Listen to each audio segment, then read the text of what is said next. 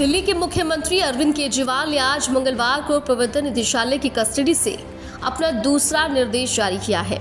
इससे पहले सीएम केजरीवाल ने सीवरेज की समस्या को लेकर पहला आदेश जल मंत्रालय को लेकर दिया था, जबकि दूसरा निर्देश आज स्वास्थ्य मंत्रालय को दिया है।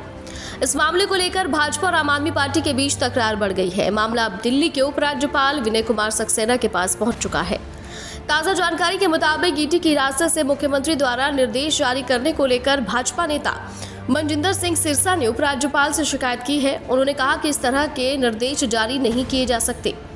भाजपा नेता मनजिंदर सिंह सिरसा ने सीएम द्वारा सीवरेज की समस्या को लेकर जारी किए गए आदेश की प्रमाणिकता पर सवाल उठाए हैं। साथ ही दिल्ली के उपराज्यपाल को पत्र लिखकर कहा कि दस्तावेज़ में केजरीवाल के हस्ताक्षर नहीं है और उन्होंने इसके फर्जीवाड़े के खिलाफ एफआईआर दर्ज करने का आग्रह किया है।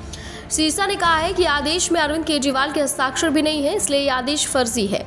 दिल्ली जल मंत्री आतिशी ने अवैध रूप से अपनी आधिकारिक क्षमता का दुरुपयोग किया।